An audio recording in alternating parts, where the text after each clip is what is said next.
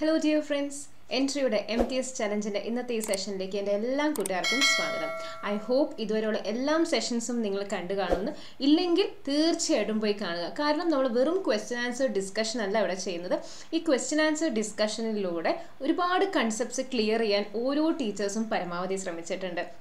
നിങ്ങൾക്ക് എക്സാമിന് ക്വസ്റ്റ്യൻസ് കാണുമ്പോൾ അത് എങ്ങനെ ആൻസർ ചെയ്യണം? അതല്ലെങ്കിൽ അതിന് മുമ്പ് നിങ്ങളത് പ്രിപ്പയർ ചെയ്യുന്ന സമയത്ത് ഏതെല്ലാം ഏരിയാസിനാണ് നിങ്ങൾ കൂടുതൽ കോൺസെൻട്രേറ്റ് ചെയ്യേണ്ടത്?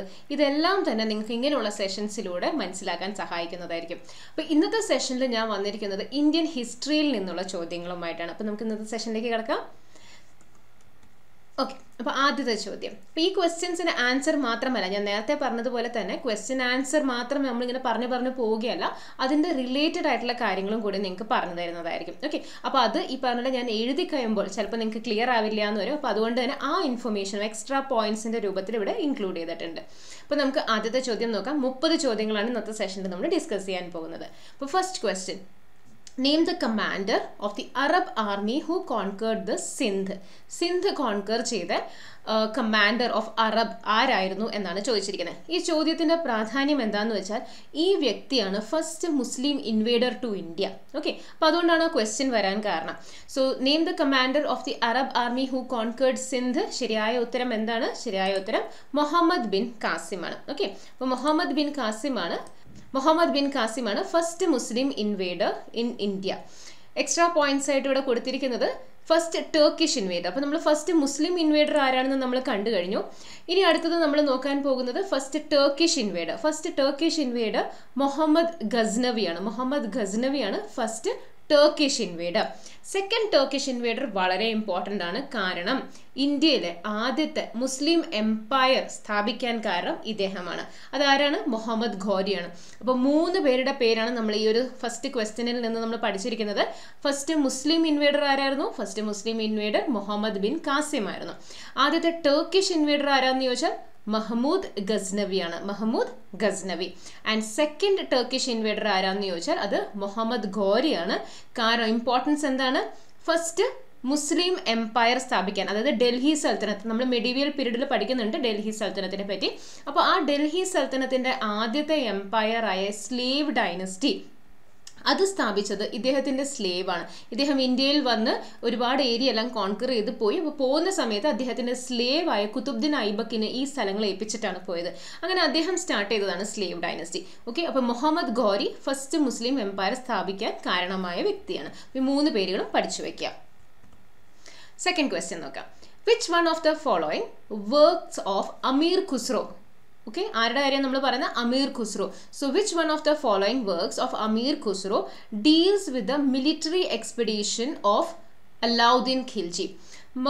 Amir Khusrau എന്ന് പറയുന്നത് അലാവുദ്ദീൻ ഖിൽജിയുടെ കോട്ടിലുണ്ടായിരുന്ന പോയറ്റാണ് ഓക്കെ അപ്പോൾ അദ്ദേഹം എഴുതിയിരിക്കുന്ന ഒരു വർക്ക് അതിൽ അദ്ദേഹം അലാവുദ്ദീൻ ഖിൽജിയുടെ മിലിറ്ററി എക്സ്പെഡീഷൻസിനെ പറ്റി പറഞ്ഞിട്ടുണ്ട്. അപ്പോൾ ആ വർക്ക് ഏതാണെന്നാണ് ചോദിച്ചിരിക്കുന്നത്? ശരിയായ ഉത്തരം ഖസൈൻ ഉൽ ഫുത്തു ആണ്. ഓക്കെ എന്താണ്? ഖസൈൻ ഉൽ ഫുത്തു ആണ്. വർക്ക് ഇനി അമീർ ഖുസ്രോ ഇമ്പോർട്ടന്റ് ആണ്. നമുക്ക് അമീർ ഖുസ്രോനെ പറ്റിയുള്ള കുറച്ച് പോയിന്റ്സ് നോക്കാം. ഫസ്റ്റ് തന്നെ നമ്മൾ ഓൾറെഡി പറഞ്ഞു കഴിഞ്ഞു. അലാവുദ്ദീൻ ഖിൽജിയുടെ കോട്ടിലുണ്ടായിരുന്ന പോയറ്റാണ് അമീർ ഖുസ്രോ. ഓക്കെ അലാവുദ്ദീൻ ഖിൽജിയുടെ കോട്ടിലുണ്ടായിരുന്ന പോയറ്റാണ് അമീർ ഖുസ്രോ. അദ്ദേഹത്തിന് അറിയുന്നത് പാരറ്റ് ഓഫ് ഇന്ത്യ എന്ന് പറഞ്ഞാണ്. അപ്പോൾ പാരറ്റ് ഓഫ് ഇന്ത്യ ആരാണ്? അമീർ ഖുസ്രോ. ഹിന്ദിയിലേക്ക് ചോദിക്കുകയാണെന്നുണ്ടെങ്കിൽ അതായത് അദ്ദേഹത്തിന് കൊടുത്തിരുന്ന ടൈറ്റിൽ ആക്ച്വലി തൂത്തിയോ ഹിന്ദ് എന്നാണ് ഓക്കെ എന്താണ്? തൂത്തിയോ ഹിന്ദ്. അതിനെ നമ്മൾ ഇംഗ്ലീഷിലോട്ട് ട്രാൻസ്ലേറ്റ് ചെയ്യുമ്പോഴാണ് പാരറ്റ് ഓഫ് ഇന്ത്യ എന്ന് പറയുന്നത് ഓക്കെ അപ്പോൾ പാരറ്റ് ഓഫ് ഇന്ത്യ എന്ന് ചോദിച്ചാലും തൂത്തിയോ ഹിന്ദ് എന്ന് ചോദിച്ചാലും രണ്ടും അമീർ ഖുസ്രോ ആണ് പിന്നെ ഇദ്ദേഹം തന്നെയാണ് father of കവാലിയും father of Urdu literature okay Urdu ലിറ്ററേച്ചറിൽ ആദ്യത്തെ പോയറ്റ് ആയിട്ട് കൺസിഡർ ചെയ്യപ്പെടുന്നത് Amir ഖുസ്രോനെയാണ് so father of qawwali Urdu literature രണ്ടും അമീർ ഖുസ്രോ ആണ് ഇൻവെന്റർ ഓഫ് സിത്താർ സിത്താർ എന്ന് പറഞ്ഞ മ്യൂസിക്കൽ ഇൻസ്ട്രുമെന്റ് ഉണ്ടല്ലോ. അതിന്റെ ഇൻവെന്ററും അമീർ ഖുസ്രോ ആണ് അപ്പോൾ വളരെ ഇമ്പോർട്ടന്റ് ആയിട്ടുള്ള വ്യക്തിയാണ് അമീർ ഖുസ്രോനെ പറ്റി നമ്മൾ എന്തൊക്കെ പോയിന്റ്സ് ആണ് പഠിച്ചത്? ആരുടെ കോർട്ടിലാണ് അമീർ ഖുസ്രോ ഉണ്ടായിരുന്നത്? അലാവുദ്ദീൻ ഖിൽജിയുടെ കോർട്ടിലായിരുന്നു ഓക്കെ അപ്പോൾ അലാവുദ്ദീൻ ഖിൽജിയുടെ കോർട്ടിലുണ്ടായിരുന്നു പാരറ്റ് ഓഫ് ഇന്ത്യ എന്നറിയപ്പെടുന്നു. Father of qawwali Urdu literature inventor of sitar okay മൂന്നാമത്തെ ചോദ്യം നോക്കാം. Which one of the which of the following is collection of melodies okay അപ്പോൾ ഓബ്വിയസ്ലി ഇതിൽ ഈ പറഞ്ഞ ഋഗ്വേദ് സാംവേദ് യജുർവേദ് അഥർവേദ് അതൊക്കെയാണ് ഓപ്ഷൻസിൽ ഉണ്ടായിരുന്നത് അപ്പോൾ നമ്മൾ വെറുതെ ഓപ്ഷൻസ് ഇട്ട് ഈ പറഞ്ഞ പോലെ സ്ഥലം അപ്പോൾ which of the following is a collection of melodies വേദങ്ങളിൽ ഏതിലാണ് മെലഡീസിനെ പറ്റി മ്യൂസിക്കിനെ പറ്റി കൊടുത്തിരിക്കുന്നത്? സാമവേദത്തിലാണ് അല്ലെ? സാമവേദമാണ് മ്യൂസിക്കിനോട് റിലേറ്റഡ് ആയിട്ടുള്ള വേദം. ബാക്കിയുള്ള വേദങ്ങളോ അത് നമുക്ക് നോക്കാം. ഋഗ്വേദം. ഋഗ്വേദം ഓൾഡസ്റ്റ് വേദമാണ് അല്ലെ? ഓൾഡസ്റ്റ് വേദം ഏതാണെന്ന് ചോദിച്ചാൽ ഋഗ്വേദമാണ് ഓൾഡസ്റ്റ് വേദം. ഇതിൽ ഹൈംസ് ഓഫ് പ്രേസ് ആണ് okay so knowledge of hymns of praise ആണ് ഇതിൽ കൊടുത്തിരിക്കുന്നത്. സാമവേദം. സാമവേദം നമ്മളിപ്പോൾ പറഞ്ഞു കഴിഞ്ഞു എന്താണ് ഇതിൽ മെലഡീസിനെ പറ്റിയാണ് കൊടുത്തിരിക്കുന്നത്. യജുർവേദം. യജുർവേദത്തിൽ എന്താണ്? സാക്രിഫീഷ്യൽ ഫോർമുലാസ് റിച്വൽസിനെ പറ്റിയും സാക്രിഫീഷ്യൽ ഫോർമുലാസിനെ പറ്റിയൊക്കെയാണ് യജുർവേദത്തിൽ കൊടുത്തിരിക്കുന്നത്. ആൻഡ് അഥർവവേദത്തിലാണ് നോളജ് ഓഫ് മാജിക്കൽ ഫോർമുലാസ് അല്ലെങ്കിൽ ഈ അസുഖങ്ങൾക്കുള്ള ട്രീറ്റ്മെന്റ് ഇതൊക്കെ കൊടുത്തിരിക്കുന്നത് അഥർവവേദത്തിലാണ് ഓക്കെ അപ്പോൾ നാല് വേദങ്ങളിലും എന്താണ് കൊടുത്തിരിക്കുന്നത് എന്നുള്ള ബേസിക് കാര്യങ്ങളാണ് ഇവിടെ നമ്മൾ മെൻഷൻ ചെയ്തിരിക്കുന്നത്. നാലാമത്തെ ചോദ്യം. Mehrauli iron pillar inscription. വളരെ ഫേമസ് ആണ് മെഹ്റോളിയിലെ അയൺ പില്ലർ. കാരണം ഇത്രയും വർഷം പഴക്കം ഉണ്ടായിട്ടും അയൺ പില്ലറായിട്ടും ഇതിന് തുരുമ്പ് പിടിച്ചിട്ടില്ല. അപ്പോൾ Mehrauli's iron pillar inscription is related to which of the following അപ്പോൾ ഓബ്വിയസ്ലി കുറേ റൂളേഴ്സിന്റെ പേര് കൊടുത്തിട്ടുണ്ടായിരിക്കും. അതിൽ നിന്ന് ഏതാണെന്നാണ് ചോദിച്ചിരിക്കുന്നത്. ആരുടേതാണെന്നാണ് ചോദിച്ചിരിക്കുന്നത്. ശരിയായ ഉത്തരം ചന്ദ്രഗുപ്ത ടു ആണ്. ചന്ദ്രഗുപ്ത ടു ഗുപ്ത ഡൈനസ്റ്റിയിൽ ഉണ്ടായിരുന്ന റൂളേഴ്സിൽ ഒരാളാണ്. വളരെ ഇമ്പോർട്ടന്റ് ആയിട്ടുള്ള റൂളറാണ് Chandragupta two Mehrauli iron pillar inscriptions ആരെ പറ്റിയാണ് കൊടുത്തിരിക്കുന്നത്? ചന്ദ്രഗുപ്ത ടുവിനെ പറ്റിയാണ്. ഇദ്ദേഹത്തിന് തന്നെയാണ് വിക്രമാദിത്യ എന്നും വിളിച്ചിരിക്കുന്നത്. ഓക്കെ അപ്പോൾ ഇദ്ദേഹത്തിന്റെ മറ്റൊരു പേരാണ് വിക്രമാദിത്യ. പിന്നെ ഇദ്ദേഹത്തിനെ പറ്റിയുള്ള മറ്റ് പോയിന്റ്സ് എന്തൊക്കെയാണെന്ന് വെച്ച് കഴിഞ്ഞാൽ ഇദ്ദേഹത്തിന്റെ ടൈം പീരീഡിലാണ് ചൈനീസ് പിൽഗ്രിമേ പിൽഗ്രിമായ ഫാഹിൻ ഇന്ത്യയിലേക്ക് വരുന്നത്. ഓക്കെ അപ്പോൾ ഫാഹീൻ ഇന്ത്യയിലേക്ക് വരുന്ന സമയത്ത് ഇന്ത്യയിൽ ആരായിരുന്നു മെയിൻ റൂളർ എന്ന് ചോദിച്ചാൽ ചന്ദ്രഗുപ്ത ടു ആയിരുന്നു. ചോദിക്കാറുണ്ട് റൂളർ ട്രാവലേഴ്സ് ഇന്ത്യയിൽ വരുന്ന സമയത്ത് അവർ ആരുടെ കോട്ടിലാണ് പോയത്? ആരുടെ കോട്ടിലായിരുന്നു അവർ താമസിച്ചിരുന്നത്? ആരായിരുന്നു ആ സമയത്ത് പ്രോമിനന്റ് റൂളർ എന്നൊക്കെ ചോദിക്കാറുണ്ട്. അപ്പോൾ ഫാഹീൻ എന്ന് പറയുന്ന ഒരു ചൈനീസ് പിൽഗ്രിം ഇന്ത്യയിലേക്ക് വന്നു. ആ സമയത്ത് ഇന്ത്യ ഭരിച്ചിരുന്നത് ചന്ദ്രഗുപ്ത ടു ആണ്. First ruler to issue silver coins in India silver coins ഇന്ത്യയിൽ ആദ്യമായി ഇഷ്യൂ ചെയ്യിപ്പിച്ചത് ചന്ദ്രഗുപ്ത ടു ആണ്. പിന്നെ ഇദ്ദേഹത്തിന്റെ കോട്ടിൽ നവരത്നങ്ങൾ ഉണ്ടായിരുന്നു ഓക്കെ നവരത്നാസ് അതായത് നയൻ ജെംസ് ഉണ്ടായിരുന്നു. നയൻ ജെംസ് എന്ന് പറയുന്നത് നയൻ സ്കോളേഴ്സ് അദ്ദേഹത്തിന്റെ കോട്ടിലുണ്ടായിരുന്നു മെയിൻ ആൾക്കാർ മ്യൂസിക്കിന്റെ ഫീൽഡിലാകാം അതല്ലെങ്കിൽ ഹെൽത്തിന് മെഡിസിന്റെ ഫീൽഡിലാകാം അങ്ങനെ പല ഫീൽഡിലായിട്ടുള്ള ഒൻപത് പേര് ഇദ്ദേഹത്തിന്റെ കോട്ടിലുണ്ടായിരുന്നു അതിൽ മെയിൻ ആയിട്ട് നമ്മൾ ഓർത്ത് വെക്കേണ്ടതാണ് കാളിദാസ്. ചോദിക്കാറുണ്ട് ഇപ്പൊ ഫാഹീൻ ആരുടെ സമയത്ത് വന്നു? എന്ന് ചോദിക്കുന്ന പോലെ തന്നെ കാളിദാസ് ആരുടെ കോട്ടിലായിരുന്നു ഉണ്ടായിരുന്നു ആരുടെ കോട്ടിലെ പോയിട്ടായിരുന്നു എന്നൊക്കെ ചോദിക്കാറുണ്ട്. അപ്പോൾ കാളിദാസ് അമർ സിംഗ് ധൻവന്തിരി വരാഹമിഹിര അതുപോലെ വരരുചി വേളഭട്ട അല്ല ബേതാൽ ഭട്ട എന്നൊക്കെ പറയുന്ന ഇദ്ദേഹമൊക്കെയായിരുന്നു നവരത്നാസിൽ ചില ഇമ്പോർട്ടന്റ് ആയിട്ടുള്ള ആൾക്കാർ ഓക്കെ സോ ചന്ദ്രഗുപ്ത ടുവിനെ പറ്റി നമ്മൾ എന്തൊക്കെ പഠിച്ചു? ഗുപ്ത ഡൈനസ്റ്റിയുടെ റൂളറായിരുന്നു ചന്ദ്രഗുപ്ത ടു വിക്രമാദിത്യ എന്ന് ഇദ്ദേഹത്തിനെ വിളിച്ചിരുന്നു. ചൈനീസ് പിൽഗ്രിം ഫാഹിൻ ഇന്ത്യയിലേക്ക് വരുന്നത് ഇദ്ദേഹത്തിന്റെ സമയത്താണ്. സിൽവർ കോയിൻസ് ആദ്യമായി ഇന്ത്യയിൽ കൊണ്ടുവന്നത് ഇഷ്യൂ ചെയ്യിപ്പിച്ചത് ചന്ദ്രഗുപ്ത ടു ആണ്. ഇദ്ദേഹത്തിന്റെ കോട്ടിൽ നവരത്നാസ് ഉണ്ടായിരുന്നു. അതിലൊന്നാണ് കാളിദാസ് പ്രത്യേകം ചോദിക്കുന്ന ഒന്നാണ് കാളിദാസ് ഓക്കെ കാളിദാസ് ധന്വന്തിരി ഇവരൊക്കെ വളരെ ഇമ്പോർട്ടന്റ് ആയിട്ടുള്ള ആൾക്കാരാണ്. അഞ്ചാമത്തെ ചോദ്യം. ഷെയ്ഖ് മൊയിനുദ്ദീൻ ബക്തിയാർ കാക്കി ആൻഡ് ഫരീദു ഫരീദുദ്ദീൻ ഗഞ്ച് എ ഷഖർ ഓക്കെ ഇവർ രണ്ടുപേരും ആരാണെന്നാണ് ചോദിച്ചിരിക്കുന്നത്? ഇവർ ചിഷ്തി സെയിൻസ് ആണ്. ചിഷ്തി സെയിൻസ് ആണ് ഇവർ രണ്ടുപേരും. ആറാമത്തെ ചോദ്യം. Who among the following Mughal emperors was called dervish or zinda fakir. Sindha ഫക്കീർ എന്ന് ആരെയാണ്? ഏത് മുഗൾ എംപററിനെയാണ് സിന്ദ ഫക്കീർ എന്ന് വിളിച്ചിരുന്നത് എന്നാണ് ചോദിച്ചിരിക്കുന്നത്. ആരെയായിരുന്നു? ഓറംഗസേബിനെയായിരുന്നു ആരെയായിരുന്നു? ഓറംഗസേബിനെയാണ് സിന്ദ ഫക്കീർ എന്ന് അഡ്രസ് ചെയ്യുന്നത് ഈ ദർവേഷ് എന്ന് വിളിച്ചിരുന്നത് ഓറംഗസേബിനെയാണ് ഓക്കെ ഓറംഗസേബിനെ പറ്റിയുള്ള മറ്റേ പോയിന്റ്സ് അദ്ദേഹത്തിന് കൊടുത്ത ടൈറ്റിലാണ് ആലംഗീർ. എന്താണ്? ആലംഗീർ. അതായത് വേൾഡ് കോൺകറർ അപ്പൊ അദ്ദേഹത്തിന് കൊടുത്ത ടൈറ്റിലാണ് ആലംഗീർ അല്ലെങ്കിൽ വേൾഡ് കോൺകറർ പിന്നെ ചോദിക്കാറുണ്ട് നയൻത്ത് സിഖ് ഗുരു? നയൻത്ത് സിഖ് ഗുരുവിന്റെ പേരാണ് ഗുരു തേജ് ബഹാദൂർ. നയൻത്ത് സിഖ് ഗുരു ആരായിരുന്നു? ഗുരു തേജ് ബഹാദൂർ ആയിരുന്നു നയൻത്ത് സിഖ് ഗുരു. അദ്ദേഹത്തിനെ വധിച്ച മുഗൾ എംപറർ ആരാണെന്ന് ചോദിക്കാറുണ്ട് അതും ഔറംഗസേബ് ആണ് ഓക്കെ? അപ്പൊ നയൻത്ത് സിഖ് ഗുരു ആയ ഗുരു തേജ് ബഹാദൂറിനെ വധിച്ച മുഗൾ എംപറർ ആരാണെന്ന് ചോദിച്ചാൽ അത് ഔറംഗസേബ് ആണ് ഔറംഗസേബിന്റെ അദ്ദേഹത്തിന്റെ ആർക്കിടെക്ചറൽ കോൺട്രിബ്യൂഷനിൽ മെയിൻ ആയിട്ട് ചോദിക്കുന്ന ഒന്നാണ് ബീബി കാ മക്ബറ. അദ്ദേഹത്തിന്റെ വൈഫിന്റെ അദ്ദേഹത്തിന്റെ ഭാര്യയുടെ ടൂമ്പാണ് ബീബി കാ മക്ബറ. അപ്പോൾ അത് പണിയിച്ചത് ഔറംഗസേബാണ്. ഓക്കെ ക്ലിയർ അപ്പോൾ ഇത്രയും പോയിന്റ്സ് നമ്മൾ മുഗൾ റൂളറായ ഓറംഗസേബിനെ പറ്റിയാണ് ഈ ക്വസ്റ്റ്യനിൽ പറഞ്ഞിരിക്കുന്നത്. അദ്ദേഹത്തിന് കൊടുത്തിരുന്ന ടൈറ്റിലാണ് ആലംഗീർ എന്ന് പറയുന്നത്. ഓക്കെ ടൈറ്റിൽ ആലംഗീർ എന്നാണ്. പിന്നെ അത് കൂടാതെ അദ്ദേഹത്തിനെ തന്നെയാണ് സിന്ദ ഫക്കീർ എന്ന് വിളിച്ചിരുന്നത്. സിന്ദ ഫക്കീർ ആരായിരുന്നു? ഔറംഗസേബ് ആയിരുന്നു ഇദ്ദേഹമാണ് നയൻത് സിഖ് ഗുരുവായ ഗുരു തേജ് ബഹാദൂറിനെ വധിച്ചത്. പിന്നെ ഇദ്ദേഹത്തിന്റെ ഭാര്യയുടെ ടൂം ഇദ്ദേഹം പണിയിപ്പിച്ചതാണ് ബീബി ക മക്ബറ. ഏഴാമത്തെ ചോദ്യം നോക്കാം. On whom emperor Akbar conferred the title of Jagat Guru Akbar ചക്രവർത്തി അക്ബർ ചക്രവർത്തി ജഗത് ഗുരു എന്ന ടൈറ്റിൽ കൊടുത്തത് ആർക്കാണെന്നാണ് ചോദിച്ചിരിക്കുന്നത്? ശരിയായ ഉത്തരം ഹരി വിജയ് സൂര്യയാണ് ആരാണ്? ഹരി വിജയ് സൂരിക്കാണ് അദ്ദേഹം. ജഗത് ഗുരു എന്ന ടൈറ്റിൽ കൊടുത്തിരിക്കുന്നത്. ഓക്കെ അക്ബർ അക്ബർ ആർക്കാണ് ജഗത് ഗുരു എന്ന ടൈറ്റിൽ കൊടുത്തത്? ഹരി വിജയ് സൂരിക്കാണ് ഈ ടൈറ്റിൽ കൊടുത്തത്. ഇദ്ദേഹം ആരായിരുന്നു?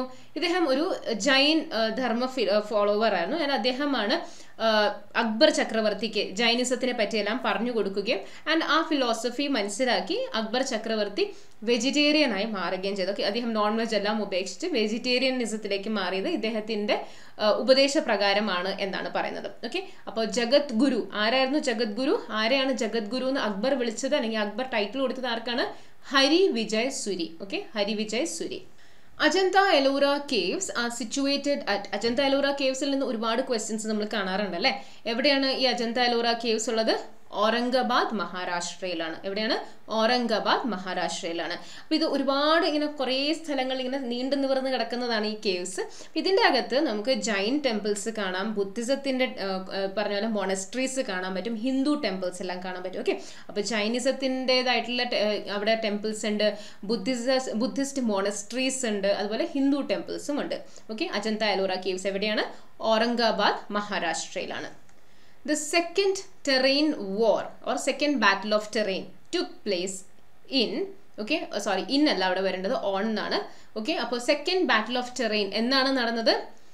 വൺ വൺ നയൻ ടൂവിലാണ് ഓക്കെ ഓർ ലെവൻ നയന്റി ടൂവിലാണ് സെക്കൻഡ് ബാറ്റിൽ ഓഫ് ടെറൈൻ നടക്കുന്നത്. സെക്കൻഡ് ബാറ്റിൽ ഓഫ് ടെറൈന്റെ ഇമ്പോർട്ടൻസ് എന്താണ്? നമ്മൾ നേരത്തെ ഫസ്റ്റ് ക്വസ്റ്റ്യൻ ഓർമ്മയുണ്ടോ നമ്മൾ പറഞ്ഞത്. Second Turkish invader Muhammad Ghori so അദ്ദേഹം ഇന്ത്യയിൽ വന്ന് അദ്ദേഹമായിരുന്നു സെക്കൻഡ് ടർക്കിഷ് ഇൻവേഡർ അദ്ദേഹം വന്നിട്ടാണ് ഇവിടെ ആദ്യത്തെ മുസ്ലിം എംപയർ സ്ഥാപിച്ചത്. അപ്പോൾ ആ സമയത്ത് ഇന്ത്യയിലുണ്ടായിരുന്ന രാജ്പൂത്സ് ആയിരുന്നു. ഓക്കെ നോർത്ത് വെസ്റ്റ് സൈഡിൽ രാജ്പൂത്സ് ആണ് ഉണ്ടായിരുന്നത്. ആ രാജ്പൂത്സിൽ മോസ്റ്റ് ഇമ്പോർട്ടന്റ് ആയിട്ടുള്ളത് മോസ്റ്റ് പവർഫുൾ ആയിട്ടുള്ള രാജ്പൂത്ത് ആയിരുന്നു പൃഥ്വിരാജ് ചൗഹാൻ. കേട്ടുകാണുമല്ലോ പൃഥ്വിരാജ് ചൗഹാനെ പറ്റി നമ്മൾ സീരിയലൊക്കെ വന്നിട്ടുണ്ട് അല്ലേ? അപ്പോൾ പൃഥ്വിരാജ് ചൗഹാൻ ആയിരുന്നു ആ സമയത്ത് മോസ്റ്റ് പവർഫുൾ ആയിട്ടുള്ള രാജ്പൂത്ത് അപ്പോൾ ഇദ്ദേഹമാണ് അവിടെ റൂൾ ചെയ്തുകൊണ്ടിരുന്നത്. അപ്പോൾ ഇദ്ദേഹം റൂൾ ചെയ്യുന്ന സമയത്താണ് മുഹമ്മദ് ഗോരി ഇന്ത്യയിലേക്ക് വരുന്നത്. അപ്പോൾ ഇദ്ദേഹം ഇന്ത്യയിലേക്ക് വന്ന് ആദ്യം പൃഥ്വിരാജ് ചൗഹാനുമായിട്ടൊരു യുദ്ധം ചെയ്തു. വൺ വൺ നയൻ വണ്ണിൽ ഓക്കെ ലെവൻ നയന്റി വണ്ണിലായിരുന്നു ഫസ്റ്റ് യുദ്ധം. ആ ഫസ്റ്റ് യുദ്ധത്തിൽ പൃഥ്വിരാജ് ചൗഹാൻ ഇദ്ദേഹത്തിനെ പരാജയപ്പെടുത്തി തിരിച്ചുവിട്ടു. പക്ഷെ പിറ്റേ വർഷം അദ്ദേഹം വീണ്ടും തിരിച്ചു വന്നു തിരിച്ചു വന്ന് അദ്ദേഹം പൃഥ്വിരാജ് ചൗഹാനെ പരാജയപ്പെടുത്തി സെക്കൻഡ് ബാറ്റിൽ ഓഫ് ടെറൈനിൽ ഓക്കെ അപ്പോൾ ഏത് ബാറ്റിലാണ് പരാജയപ്പെടുത്തിയത്? സെക്കൻഡ് ബാറ്റിൽ ഓഫ് ടെറൈനിലാണ് ചിലപ്പോൾ ഓപ്ഷൻസിൽ ഫസ്റ്റ് ബാറ്റിൽ സെക്കൻഡ് ബാറ്റിൽ രണ്ടും കാണും. അപ്പോൾ കൺഫ്യൂഷൻ ആവരുത്. സെക്കൻഡ് ബാറ്റിൽ ഓഫ് ടെറൈനിലാണ് മുഹമ്മദ് ഘോരി പൃഥ്വിരാജ് ചൗഹാനെ പരാജയപ്പെടുത്തി ഇവിടെ ഒരു മുസ്ലിം എംപയർ സ്ഥാപിക്കുന്നത്. ഓക്കെ സോ നമുക്ക് ഓപ്ഷൻ നമ്മുടെ എക്സ്ട്രാ പോയിന്റ്സ് നോക്കാം. സോ സെക്കൻഡ് ടേക്ക് ഇൻവേഷൻ നടത്തിയതാണ് മുഹമ്മദ് ഘോരി ഇദ്ദേഹം ഖുരീദ് എംപയറിൽ നിന്നാണ് വരുന്നത്. Battle of first battle of Tarain നടന്നു. അതിൽ പൃഥ്വിരാജ് ചൗഹാൻ ജയിച്ചു. സെക്കൻഡ് ബാറ്റിൽ ഓഫ് ടെറൈനിലാണ് മുഹമ്മദ് ഘോരി ജയിക്കുന്നത്. ഓക്കെ ആൻഡ് ഇതിന് ശേഷമാണ് ഞാൻ നേരത്തെ പറഞ്ഞതുപോലെ ഇദ്ദേഹം കുത്തുബ്ദീൻ ഐബക്കിനെ എല്ലാം ഏൽപ്പിച്ചിട്ട് പോയി. അങ്ങനെയാണ് സ്ലേവ് ഡൈനസ്റ്റി സ്റ്റാർട്ട് ചെയ്യുന്നത്. ഡൽഹി സൽത്തനത്തിലെ ഫസ്റ്റ് ഡൈനസ്റ്റി ആയിരുന്നു സ്ലേവ് ഡൈനസ്റ്റി അത് അങ്ങനെയാണ് സ്ഥാപിക്കപ്പെടുന്നത്. പത്താമത്തെ ചോദ്യം നോക്കാം. The title of viceroy was added to the center office of the governor general of india for the first time in. എപ്പോഴാണ് ഈ വൈസ്രോയ് എന്ന് പറയുന്ന ടൈറ്റിൽ വന്നത്? നമുക്കറിയാം എയ്റ്റീൻ ഫിഫ്റ്റി സെവൻ റിവോൾട്ട് ഉണ്ടായ കാര്യം നമുക്കറിയാലോ. അപ്പോൾ എയ്റ്റീൻ ഫിഫ്റ്റി സെവൻ റിവോൾട്ടിന് ശേഷം നമുക്കറിയാം ബ്രിട്ടീഷ് ഈസ്റ്റ് ഇന്ത്യ കമ്പനി മാറി കംപ്ലീറ്റ് റൂൾ ബ്രിട്ടീഷ് ക്രൗണിന്റെ അണ്ടർ പോയി അല്ലേ? അങ്ങനെ ബ്രിട്ടീഷ് ക്രൗണിന്റെ അണ്ടർ പോയപ്പോൾ Government of India Act eighteen fifty eight വരുന്നു. ആൻഡ് ഈ Government of India Act eighteen fifty eight പ്രകാരം രണ്ട് മെയിൻ ചേഞ്ചസ് ആണ് കൊണ്ടുവന്നത്. അതിലൊന്നാണ് secretary of state for India secretary for state secretary of the state for India അത് എവിടെയായിരുന്നു? ആ ഒരു ഓഫീസ് വന്നത്. ആ ഓഫീസ് ബ്രിട്ടനിലാണ്. ഓക്കെ ഇന്ത്യയ്ക്ക് വേണ്ടിയിട്ട് ഒരു ഓഫീസ് പക്ഷെ അത് ബ്രിട്ടനിലാണ്. അവിടുത്തെ ഒരു റെപ്രസെന്റേറ്റീവ് ഇന്ത്യയിലുണ്ടാകും. അതാണ് വൈസ്രോയ് ഓക്കെ അപ്പോൾ ആ സമയത്ത് വരെ ഉണ്ടായിരുന്ന നമ്മുടെ ഗവർണർ ജനറൽ ഓഫ് ഇന്ത്യ എന്ന് പറഞ്ഞ ആ പദവി എടുത്ത് മാറ്റി പകരം വയസ്റോയ് ആക്കി. അങ്ങനെ ആദ്യത്തെ വയസ്റോയ് ആയത് ആരാണ്? ലോർഡ് കാനിങ് ആണ് ഫസ്റ്റ് വയസ്റോയ് ആയത്. അപ്പോൾ ഇത് എപ്പോഴാണ് വന്നത്? എയ്റ്റീൻ ഫിഫ്റ്റി സെവൻ റിവോൾട്ടിന് ശേഷം എയ്റ്റീൻ ഫിഫ്റ്റി എയ്റ്റിൽ ഗവൺമെന്റ് ഓഫ് ഇന്ത്യ ആക്ട് വരുന്നു അത് പ്രകാരമാണ് ഗവർണർ ജനറൽ ഓഫ് ഇന്ത്യ എന്ന് പറഞ്ഞ ആ പോസ്റ്റ് എടുത്ത് മാറ്റിയത് വൈസ്രോയ് ആക്കിയത്. ഓക്കെ പിന്നെ ബ്രിട്ടനിൽ ഓപ്പൺ ചെയ്ത ഓഫീസ് എന്തായിരുന്നു? അതാണ് secretary of the state for India. So eleven ten questions നമ്മൾ കണ്ടു കഴിഞ്ഞു. ഐ ഹോപ്പ് വേണ്ട നോട്ട്സ് ഒക്കെ നിങ്ങൾ പ്രിപ്പയർ ചെയ്യുന്നുണ്ടാവും. ഇല്ലെങ്കിൽ പോസ് ചെയ്യുക വീഡിയോ ആൻഡ് പേപ്പറും പെന്നൊക്കെ എടുത്ത് വെച്ചിട്ടിരുന്ന് നോട്ട്സ് പ്രിപ്പയർ ചെയ്ത് എടുക്കുക. ഓക്കെ പതിനൊന്നാമത്തെ ചോദ്യം നോക്കാം. Which among the following is the largest of the four ancient civilization അപ്പോൾ ഓപ്ഷൻസിൽ നാല് ഏൻഷ്യൻ സിവിലൈസേഷൻസിന്റെ പേര് കൊടുത്തിട്ടുണ്ട്. Mesopotamia China Egypt Indus valley civilization ഇതിൽ ഏറ്റവും വലുത് ഏതായിരുന്നു എന്നാണ് ചോദിച്ചിരിക്കുന്നത് ഏറ്റവും വലിയ സിവിലൈസേഷൻ നമ്മുടെ ഇന്ത്യയിലുണ്ടായിരുന്ന civilization Indus valley civilization okay അപ്പോൾ which of the following is a largest among the four ancient civilization Indus valley civilization next question who was the founder of Hyderabad state Hyderabad. പലരും visit ചെയ്ത് കാണുമല്ലോ. Hyderabad state അപ്പോൾ ഹൈദരാബാദിന്റെ founder ആരായിരുന്നു എന്നാണ് ചോദിച്ചിരിക്കുന്നത്. ഹൈദരാബാദിന്റെ founder ആയിരുന്നത് നിസാമുൽ മുൽക്ക് അസഫ് ജഹ എന്നാണ്. ഓക്കെ അപ്പോൾ ഈ വ്യക്തിയുടെ പേര് ചില അതായത് പല പല പേരുകളുണ്ട്. അപ്പോൾ ചില ബുക്സിൽ അല്ലെങ്കിൽ ചില ക്വസ്റ്റ്യൻസിന്റെ ഓപ്ഷനിൽ കാണുന്നത് നമുക്ക് മീർ ഇവിടെ കൊടുത്തിട്ടുണ്ട് ഞാൻ. സി കാണാം. നിങ്ങൾക്ക് also known as Mir Qamaruddin Khan. Okay അപ്പോൾ ചിലപ്പോൾ ഓപ്ഷനിൽ ഇതായിരിക്കും കൊടുത്തിരിക്കുന്നത്. അല്ലെങ്കിൽ നിസാമുൽ മുൽക്ക് എന്നായിരിക്കും കൊടുത്തിരിക്കുന്നത്. അപ്പോൾ ഏതായാലും സെയിം ആണ് ആൾ. അപ്പോൾ ഹൈദരാബാദിന്റെ ഫൗണ്ടർ എന്ന് പറയുന്നത് നിസാം ഉൽ മുൽക്ക് അല്ലെങ്കിൽ മീർ മീർ കമറുദ്ദീൻ ഖാൻ ആണ്. ഓക്കെ ഇദ്ദേഹം ആരായിരുന്നു? ഇദ്ദേഹം മുഗൾസിന്റെ ഒരു ഗവർണർ ആയിരുന്നു. Okay so who was the governor of Deccan under the Mughals from seventeen thirteen to seventeen twenty one national emblem of India is taken from Mauryan pillar located at അപ്പോൾ ഇതാണ് നമ്മുടെ national emblem അല്ലേ? നമ്മുടെ four lion capital ഇത് എവിടെയാണോ ഉള്ളതെന്നാണ് ചോദിച്ചിരിക്കുന്നത്. എവിടെയാണ് നമ്മുടെ ഈ four lion capital of Ashoka ഉള്ളത്? സാർനാഥിലാണ് അല്ലെ? ഉത്തർപ്രദേശിലെ സാർനാഥിലാണ് ഈ ഫോർ ലൈൻ ക്യാപിറ്റൽ അത് അശോക ചക്രവർത്തിയാണ് ഇത് പണിയിച്ചിരിക്കുന്നത്. അടുത്ത ചോദ്യം. Who is considered as the father of Indian constitution Indian കോൺസ്റ്റിറ്റ്യൂഷന്റെ father ആരാണ് Indian കോൺസ്റ്റിറ്റ്യൂഷന്റെ father doctor B R Ambedkar ആണ്. ഡോക്ടർ ബി ആർ അംബേദ്കർ ആണ് ഫാദർ ഓഫ് ഇന്ത്യൻ കോൺസ്റ്റിറ്റ്യൂഷൻ കാരണം അദ്ദേഹം നമ്മുടെ കോൺസ്റ്റിറ്റ്യൂഷൻ എഴുതി തയ്യാറാക്കാനായിട്ട് അദ്ദേഹത്തിന് ഒരു വളരെ ഇമ്പോർട്ടന്റ് റോൾ ഉണ്ട് അതിന്റെ അകത്ത്. അതുപോലെ ഡ്രാഫ്റ്റിംഗ് കമ്മിറ്റിയുടെ ചെയർമാനുമായിരുന്നു അദ്ദേഹം. ഓക്കെ അപ്പോൾ അതുകൊണ്ട് ഫാദർ ഓഫ് ഇന്ത്യൻ കോൺസ്റ്റിറ്റ്യൂഷൻ എന്നറിയപ്പെടുന്നത് ഡോക്ടർ ബി ആർ അംബേദ്കർ ആണ്. അടുത്ത ചോദ്യം നോക്കാം. Who among the following personalities is well known for his Bhoodan and Sarvodaya movement so ആര് ആര് who is responsible or who is related to Bhoodan and Sarvodaya movement ആരാണ്? ആചാര്യ വിനോബ ഭാവയാണ്. ആരാണ്? Acharya Vinoba ഭാവയാണ്. So എന്താണ് ഈ ഭൂദാൻ ഭൂ ഭൂമി. ദാൻ ദാനം ചെയ്യാം. അപ്പോൾ ഇത് ബേസിക്കലി ഒരു ലാൻഡ് ഗിഫ്റ്റ് മൂവ്മെന്റ് ആണ്. ഇതിനെ പറയുന്ന മറ്റൊരു പേര് ലാൻഡ് ഗിഫ്റ്റ് മൂവ്മെന്റ് എന്നും അല്ലെങ്കിൽ ബ്ലഡ്ലെസ് റെവല്യൂഷൻ എന്നും പറയാറുണ്ട്. നയന്റീൻ ഫിഫ്റ്റി വണ്ണിൽ പോച്ചമ്പള്ളി സ്റ്റാർട്ട് ചെയ്തതാണ്. ഇത് ആചാര്യ വിനോബ ഭാവയാണ് സ്റ്റാർട്ട് ചെയ്തത്. ബേസിക്കലി ഇതിൽ എന്തായിരുന്നു എന്ന് വെച്ച് കഴിഞ്ഞാൽ ഒരുപാട് വെൽത്തി ആയിട്ടുള്ള ലാൻഡ് ലോഡ്സ് അല്ലെങ്കിൽ ലാൻഡ് ഓണേഴ്സ് അവർ വോളണ്ടറിലി അവർ സ്വന്തമായിട്ട് അവർക്ക് അവർക്ക് ഇഷ്ടത്തോടെ അവർ ആ അവരുടെ എക്സ്ട്രാ ഭൂമി അല്ലെങ്കിൽ ഒരു പെർസെന്റേജ് ഓഫ് ദ ലാൻഡ് അവർ ലാൻഡ് ഇല്ലാത്തവർക്ക് ഭൂമി ഇല്ലാത്തവർക്ക് ദാനം ചെയ്യുക. അതിനാണ് നമ്മൾ ഭൂദാൻ ആൻഡ് സർവോദയ മൂവ്മെന്റ് എന്ന് പറയുന്നത്. ഇത് സ്റ്റാർട്ട് ചെയ്തത് ആരാണ്? ആചാര്യ വിനോബ ഭാവയാണ് ഇത് സ്റ്റാർട്ട് ചെയ്തത്. ഓക്കെ പതിനഞ്ചാമത്തെ ചോദ്യം. The Portuguese explorer Vasco da Gama died in dash in fifteen twenty four Portuguese explorer Vasco da Gama വാസ്കോഡഗാമയെ Vasco da നമുക്ക് എല്ലാവർക്കും നന്നായിട്ട് അറിയാം. കാരണം അദ്ദേഹം കേരളത്തിലാണ് വന്ന് ഇറങ്ങിയത്. സോ ഇദ്ദേഹം ഈ പറഞ്ഞ പോലെ പോർച്ചുഗീസ് എക്സ്പ്ലോറർ ആയിരുന്നു. First European to reach India by sea. And ഇദ്ദേഹം എവിടെയാണ് ലാൻഡ് ചെയ്തത്? കോഴിക്കോടാണ് വന്ന് ഇറങ്ങിയത്. ഓക്കെ? ഇദ്ദേഹം കോഴിക്കോട് വന്ന് ഇറങ്ങി. ഇദ്ദേഹം മരിച്ചത് എവിടെ വെച്ചാണെന്നാണ് ചോദിച്ചിരിക്കുന്നത്. ഇദ്ദേഹം കൊച്ചിയിലാണ് ഇദ്ദേഹം മരിക്കുന്നത്. Okay? So he died in Kochi in fifteen twenty four.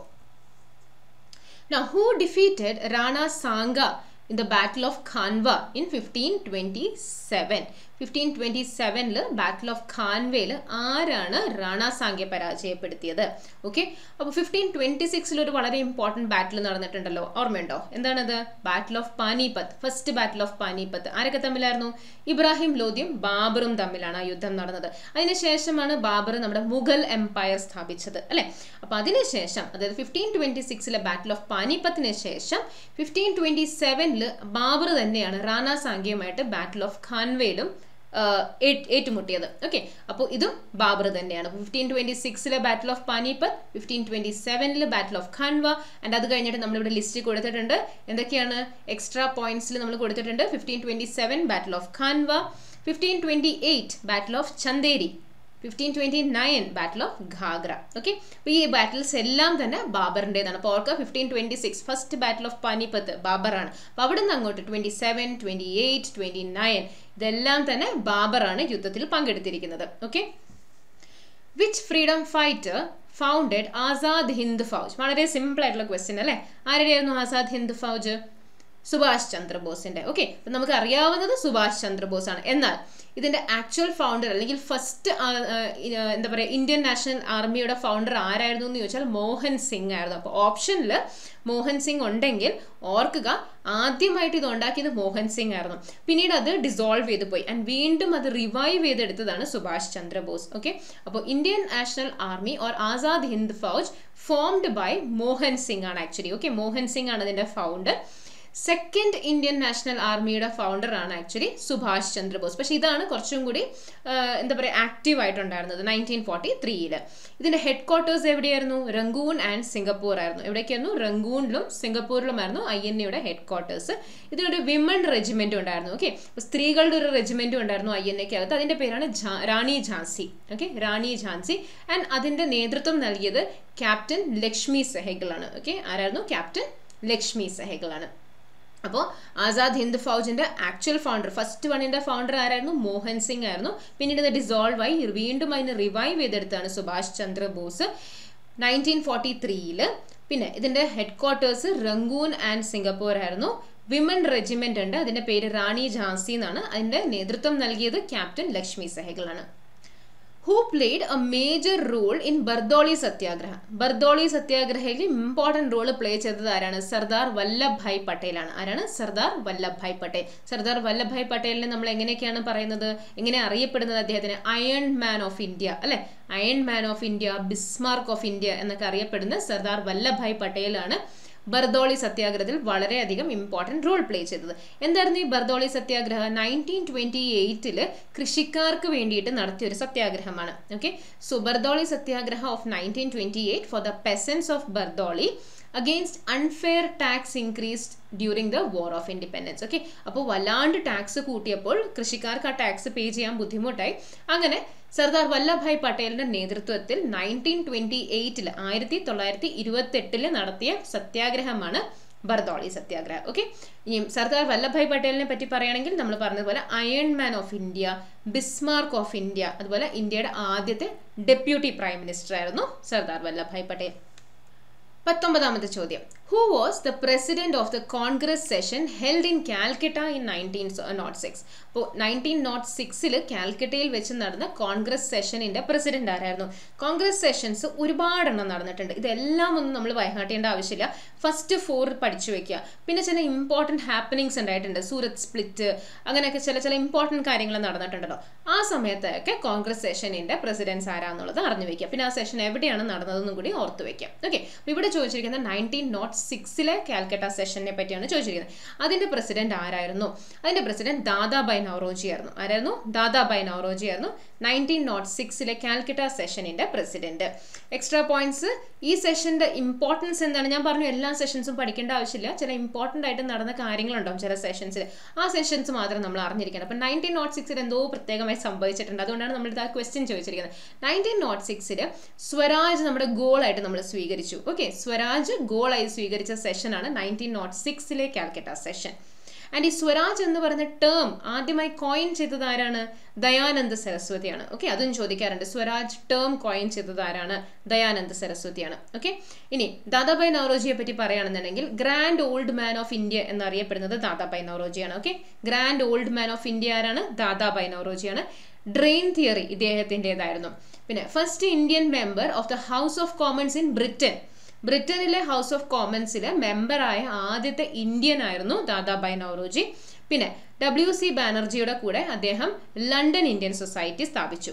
Okay ഇത്രയും പോയിന്റ്സ് ദാദാബായ് നവറോജിയെ പറ്റി ഓർത്ത് വയ്ക്കുക grand old man of India അതുപോലെ ഡ്രെയിൻ തിയറി വളരെ ഇമ്പോർട്ടന്റ് ആണ്. ഹൗസ് ഓഫ് കോമൺസ് ഇൻ ബ്രിട്ടനിൽ മെമ്പറായ ആദ്യത്തെ ഇന്ത്യൻ ആണ് ദാദാഭായ് നവറോജി. അതുപോലെ തന്നെ അദ്ദേഹം ഡബ്ല്യു സി ബാനർജിയുടെ കൂടെ ചേർന്ന് ഫോം ചെയ്ത ഓർഗനൈസേഷൻ ഏതായിരുന്നു? London India Society who was the first Mughal emperor in India നമ്മളിപ്പോൾ നേരത്തെ പറഞ്ഞതേ ഉള്ളൂ അല്ലേ? എന്തായിരുന്നു? ആരായിരുന്നു first Mughal emperor fifteen twenty സിക്സിലെ battle of പാനിപ്പത്തിന് ശേഷം മുഗൾ എംപയർ സ്ഥാപിച്ച ബാബർ ആയിരുന്നു അല്ലേ? So first battle of Panipat sorry ഇവിടെ നയന്റീൻ ഫിഫ്റ്റി സിക്സ് എന്നാണ് കൊടുത്തിരിക്കുന്നത് ഫിഫ്റ്റീൻ ഫിഫ്റ്റീൻ ട്വന്റി സിക്സ് ആണ് ഓക്കെ ഫിഫ്റ്റീൻ ട്വന്റി സിക്സിൽ ബാറ്റിൽ ഓഫ് പാനിപ്പത്തിന് ശേഷമാണ് അദ്ദേഹം നമ്മുടെ മുഗൾ എംപയർ സ്ഥാപിച്ചത്. ഓക്കെ അദ്ദേഹത്തിന്റെ ഓട്ടോബയോഗ്രഫി ആയിരുന്നു തുസൂക്കെ ബാബ്രി. എന്തായിരുന്നു? തുസൂക്കെ ബാബ്രി ഇൻ ടർക്കിഷ് അദ്ദേഹത്തിന്റെ ഓട്ടോബയോഗ്രഫിയാണ് it's translated to Persian language അപ്പോൾ ഇദ്ദേഹത്തിന്റെ ഓട്ടോബയോഗ്രഫിയുടെ പേരെന്താണെന്ന് ചോദിച്ചാൽ തുസൂക്കെ ബാബ്രി എന്നാണ് ഇദ്ദേഹത്തിന്റെ ഓട്ടോബയോഗ്രഫി അത് ടർക്കിഷ് ലാംഗ്വേജിലാണ് ഓട്ടോബയോഗ്രഫി എന്ന് വെച്ചാൽ എന്താണ്? സ്വന്തമായിട്ട് എഴുതിയിരിക്കുന്നത്. സോ അത് ടർക്കിഷ് ലാംഗ്വേജിലാണ് പിന്നീട് അതിനെ ട്രാൻസ്ലേറ്റ് ചെയ്തു. പേർഷ്യൻ ലാംഗ്വേജിലോട്ട് ആരാണ് അത് ട്രാൻസ്ലേറ്റ് ചെയ്തത്?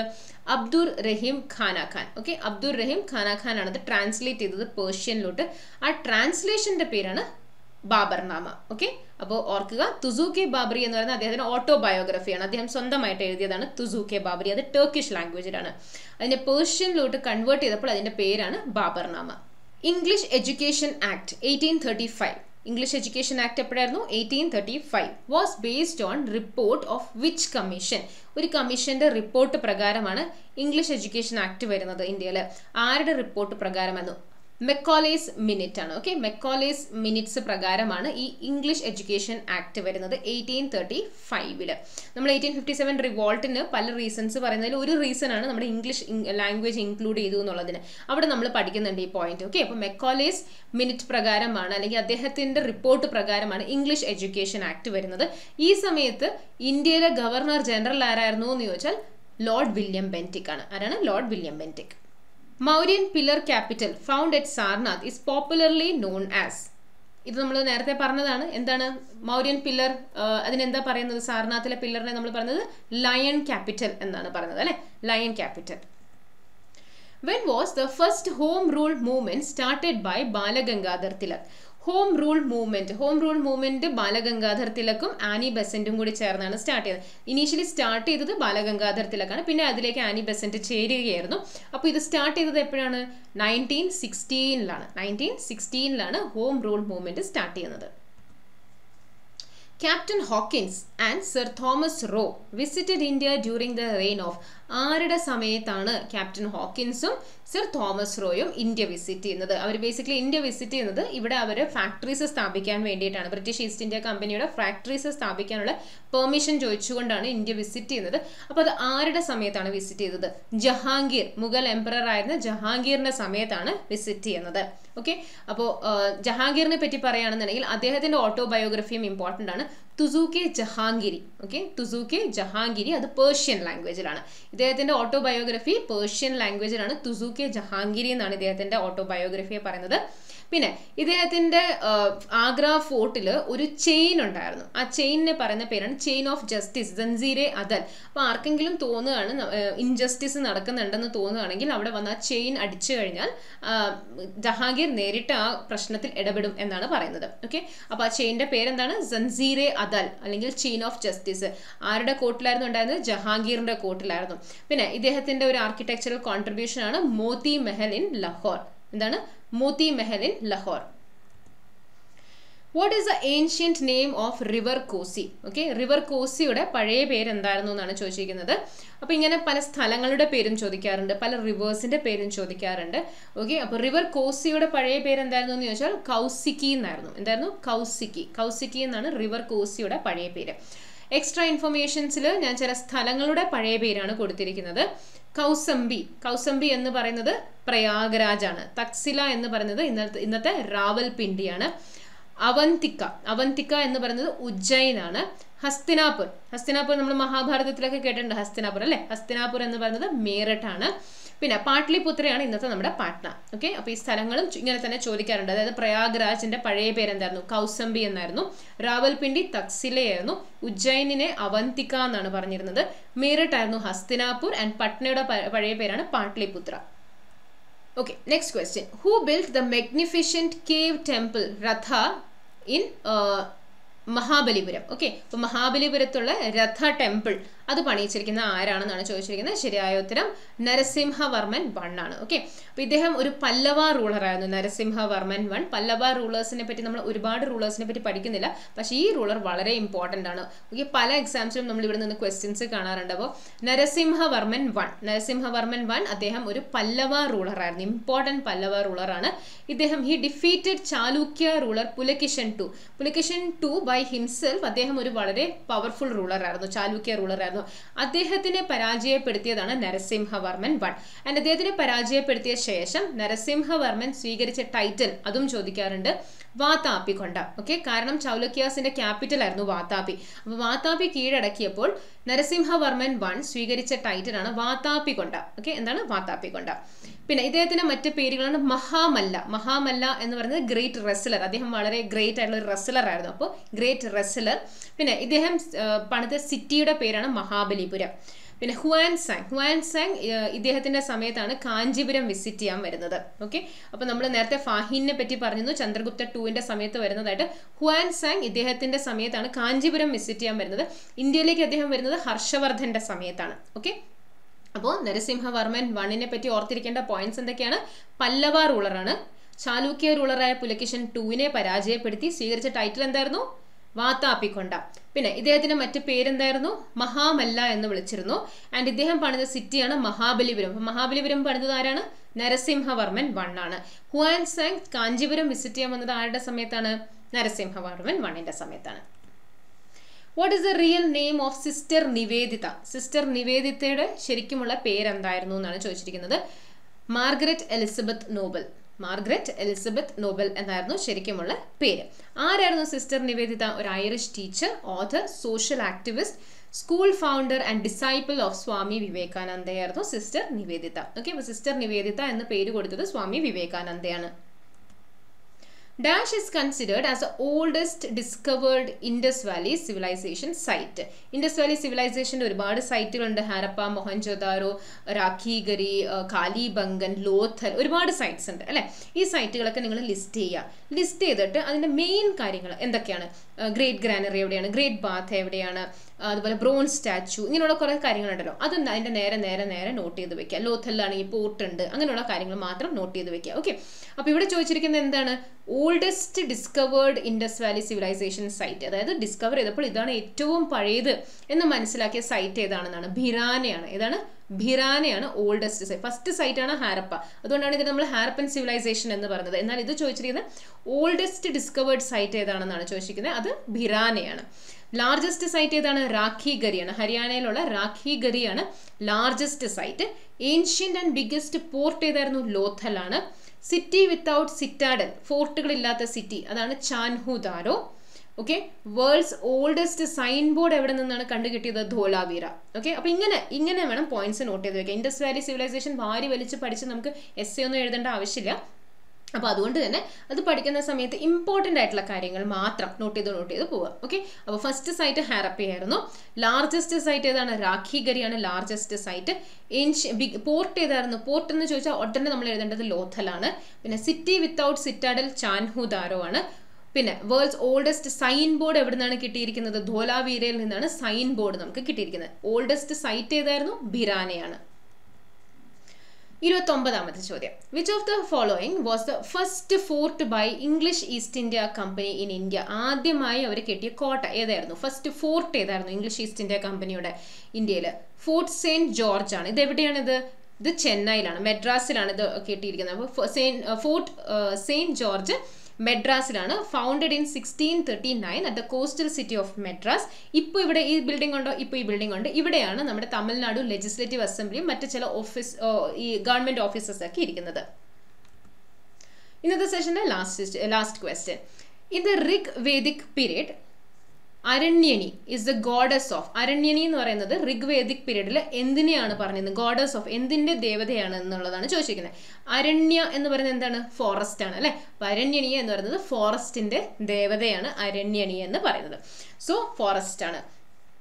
ഋഗ്വേദത്തിനെ പറ്റി പറയുകയാണെങ്കിൽ ഓൾഡസ്റ്റ് വേദയാണ്. പിന്നെ നമ്മുടെ ഗായത്രി മന്ത്രം എടുത്തിരിക്കുന്ന എന്തിൽ നിന്നാണെന്ന് ചോദിച്ചാൽ അത് ഋഗ്വേദത്തിൽ നിന്നാണ്. ഋഗ്വേദത്തിൽ ഏറ്റവും അധികം മെൻഷൻ ചെയ്തിരിക്കുന്ന ഏത് ദേവ ഏത് ഗോഡിനെ പറ്റിയാണെന്ന് ചോദിച്ചാൽ ഇന്ദ്രദേവനെ പറ്റിയാണ്. ഓക്കെ പിന്നെ മോസ്റ്റ് മെൻഷൻ റിവർ ഏതാന്ന് ചോദിച്ചാൽ സിന്ധു നദിയെ പറ്റിയാണ് മെൻഷൻ ചെയ്തിരിക്കുന്നത്. ഋഗ്വേദത്തിൽ മെൻഷൻ ചെയ്യപ്പെട്ട് പക്ഷെ ഇപ്പോൾ ഇല്ലാത്ത നദി ഏതാണെന്ന് ചോദിച്ചാൽ സരസ്വതിയാണ്. ഓക്കെ അപ്പോൾ ഓൾഡസ്റ്റ് വേദം ഋഗ്വേദമാണ്. ഗായത്രി മന്ത്രം എടുത്തിരിക്കുന്നത് ഋഗ്വേദത്തിൽ നിന്നാണ്. മോസ്റ്റ് മെൻഷൻ ഗോഡ് ഇൻ ഋഗ്വേദം ഇന്ദ്രദേവനാണ്. മോസ്റ്റ് മെൻഷൻ റിവർ സിന്ധു നദിയാണ്. And river mentioned in Rigveda but not seen now സരസ്വതിയാണ്. So friends ഇന്നത്തെ സെഷനിൽ നമ്മൾ തേർട്ടി ക്വസ്റ്റ്യൻസ് ആണ് ഡിസ്കസ് ചെയ്തിരിക്കുന്നത്. ക്വസ്റ്റ്യൻ ഡിസ്കഷൻ മാത്രമല്ല ഞാൻ പറഞ്ഞതുപോലെ കുറേ എക്സ്ട്രാ പോയിന്റ്സും നമ്മൾ ഡിസ്കസ് ചെയ്തിട്ടുണ്ട്. അപ്പോൾ ഐ ഹോപ്പ് നിങ്ങൾക്ക് എല്ലാവർക്കും ഈ സെഷൻ ഇഷ്ടപ്പെട്ട് കാണുമെന്ന് തീർച്ചയായിട്ടും നിങ്ങളുടെ അഭിപ്രായങ്ങൾ കമന്റ് സെക്ഷനിൽ അറിയിക്കുക. So thank so much for watching have a nice day